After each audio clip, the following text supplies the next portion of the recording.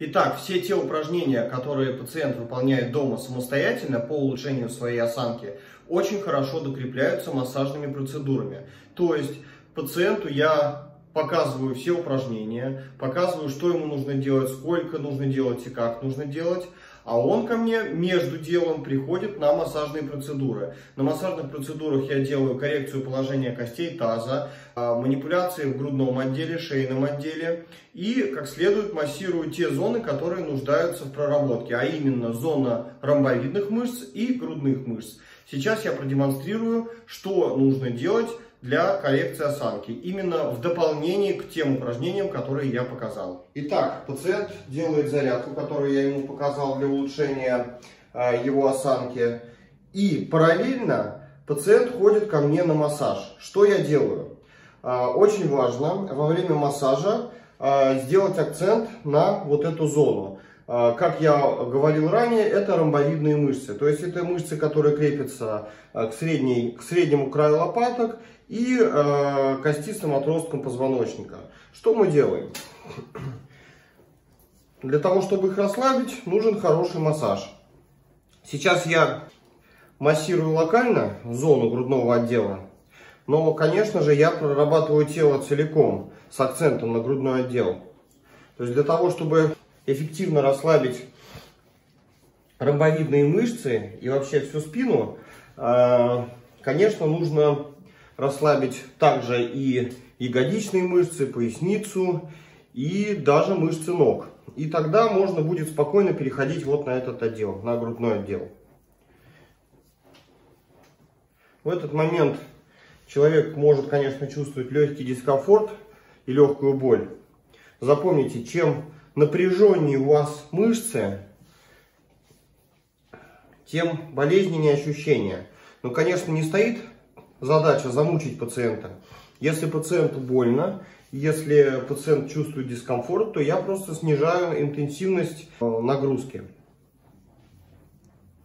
Здесь очень важно проработать большую малую ромбовидную мышцу, которая находится вот здесь. Мышцу, поднимающую лопатку. Она крепится э, к углу лопатки и к поперечным отросткам шейного отдела позвоночника. Вообще, грудной отдел это самый коварный Потому что чаще всего э, напряжение в грудном отделе является э, основной причиной болей в шее. То есть люди, которые ко мне приходят с болями в шее, э, жалуются, что у них очень сильно спазмирована шея, голову не повернуть. Говорят, просят меня, разомните мне, пожалуйста, шею. На самом деле проблема вот здесь, в грудном отделе. Для этого нужно как следует проработать грудной отдел, как следует его размять, чтобы он горел, чтобы крас... кожа была красного цвета. Дальше можно в ход пустить вакуумный массаж. Берем баночку. Пациенту может быть немножко больно. Ну, опять же, мы делаем в зависимости от чувствительности, мы создаем тот или иной вакуум, силу вакуума. Сейчас я показываю в ускоренном варианте массаж. Вот, так как массаж занимает, сама процедура занимает около часа. Сейчас я показываю только детали, что нужно сделать. Мы прорабатываем весь грудной отдел.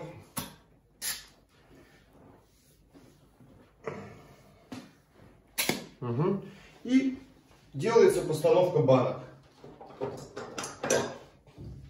Можно обставить всю спину, а можно сделать локально, идти по грудному отделу позвоночника.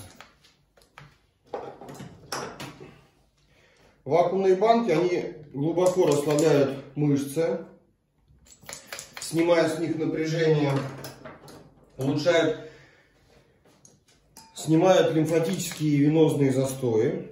И также вакуумные банки, они, э, у них очень интересный механизм работы. Сейчас я ставлю вакуумные банки, и пациенту кажется, что, точнее мозгу, центральной нервной системе кажется, что происходит очень мощное и жесткое перенапряжение в мышцах. И центральная нервная система сейчас посылает сигналы в мышцы расслабиться. Но мышцы расслабиться не могут, так как они сдавлены вакуумными банками. И через какое-то время э, пациент почувствует мощное расслабление, и даже некоторые люди засыпают э, под, вакуумными, под вакуумными банками. Когда проходит 5-6 минут и мы снимаем банки, то происходит еще более глубокое расслабление. И в этот момент можно делать уже манипуляции на грудном отделе. Но перед тем, как мы сделать манипуляции на грудном отделе, мы еще проработаем грудные мышцы и лестничные мышцы. Пока что пациент пускай лежит, расслабляется, отдыхает и получает удовольствие. Итак, прошло уже где-то минут 5-7 и пора снимать баночки. Вот обратите внимание, на данном пациенте баночки не оставили следы. Это говорит о том, что спина достаточно хорошо проработана и никаких застоев нету, и сосудики и капиллярчики работают так, как это требуется. Можно дополнительно снять напряжение со спины, аккуратненько проработать ее и потихонечку мы сейчас будем переворачиваться, чтобы прорабатывать а, грудные мышцы и лестничные мышцы. Теперь переходим к массажу грудных мышц. Как я уже говорил ранее, сутулая осанка появляется из-за того, что у нас ромбовидные мышцы достаточно слабые, растянутые, а мышцы груди, наоборот, перенапряжены. И для того, чтобы осанку исправить, нам нужно э, убрать конфликт грудных мышц и ромбовидных, то есть постоянную их борьбу. Для этого нужно размять поверхность грудной мышцы и места ее крепления. Это достаточно болезненная также процедура, но опять же мы делаем все постепенно. Мы ни в коем случае не делаем это все через резкую боль. И потихонечку, когда мы грудные мышцы размяли, мы переходим на лестничные мышцы. Лестничные мышцы крепятся к первому, второму ребру, то есть их начало, и они крепятся к второму, к первому, второму шейному отделу позвоночника, а именно к поперечным отросткам. И вот эти вот зоны тоже нужно размять. То есть обратите внимание, насколько непросто работать с плохой осанкой человека.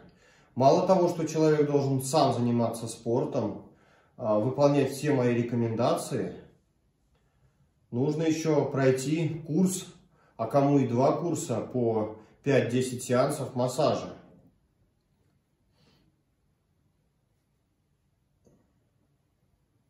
Шею нужно проработать детально.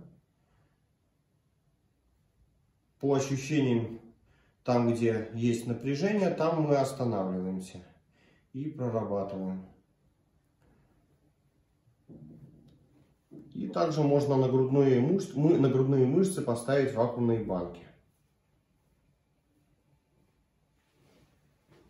Массаж, направленный на исправление осанки, длится около часа. Ну, все в зависимости от выносливости пациента и от степени запущенности. Иногда я массирую и 2 часа. Ну и можно поставить на грудные мышцы баночки. Это неприятно, но это дает свои результаты. Конечно, внешне это будет выглядеть не совсем эстетично, когда вы выходите на пляж, а у вас синяки на передней части груди. Но, как говорят, красота требует жертв. Поэтому ну, дней 5 синячки поддержатся и пройдут. Зато через какое-то время можно будет хвастаться своей превосходной осанкой. И вот в таком положении мы лежим также 5 минут. Ну, пока пациент лежит, пока у него баночки на груди, можно сделать ему доставить эстетическое удовольствие и помассировать лицо. Сделать массаж лица. Это намного лучше, чем обкалывать его ботоксом. Это намного лучше, чем мазать его всякими бесполезными кремами. Если будет интересно, пишите в директ, расскажу, почему крема эти все бесполезны. Вот. Самое лучшее для лица это массаж. Хотите предупредить преждевременное появление морщин на лице, то, пожалуйста, записывайтесь на массаж. Уберем вам морщины. Еще таким образом мы отвлекаем пациента от э, дискомфортных ощущений, которые возникают, когда мы поставили баночки на мышцы груди.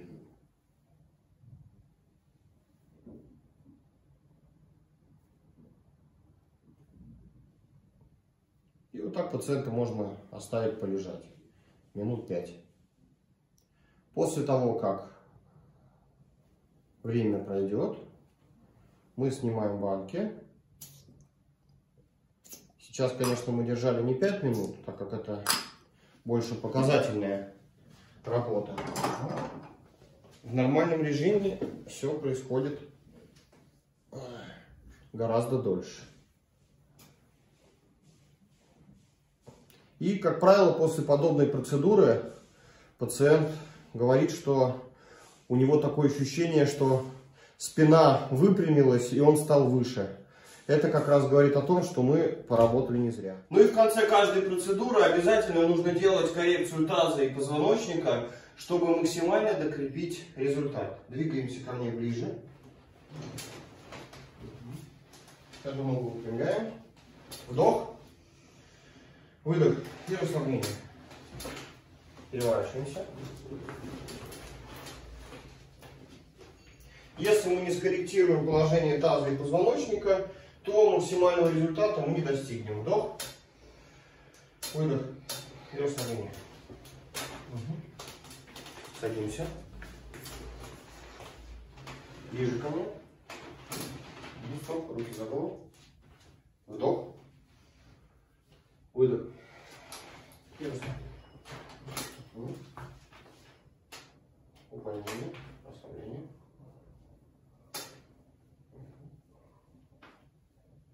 Выпрямились. Вот и все.